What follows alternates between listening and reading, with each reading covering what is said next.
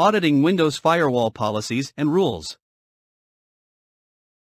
The Windows Defender Firewall, with advanced security, is a two-way inbound and outbound network traffic filtering solution that enables an additional layer of security on computers by allowing the server or security administrator define rules or policies that controls the type of network traffic allowed or permitted into a computer and the network traffic allowed to leave the computer.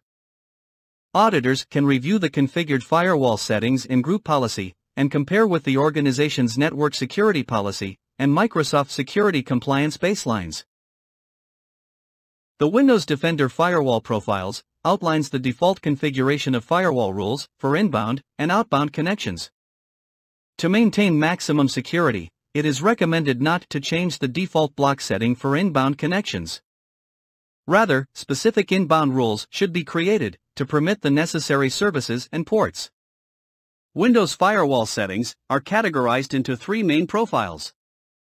The domain profile is the default profile in environments where users are authenticated on the network by a central domain controller. This profile is automatically activated when a workgroup computer is joined to an Active Directory domain. The private profile is used in private networks such as a home network or workgroup computers within an organization. The public profile is recommended for use when connected to public networks like Wi-Fi hotspots at airports or hotels. When adding inbound rules to permit programs, open ports or protocols, or predefined types of traffic, the system or security administrator should take into consideration the firewall rule precedence behavior.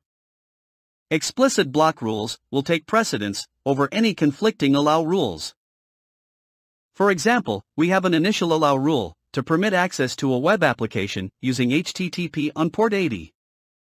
If we create a conflicting block rule to deny access to the web application, the block rule will supersede the existing allow rule, and access to the application will be denied.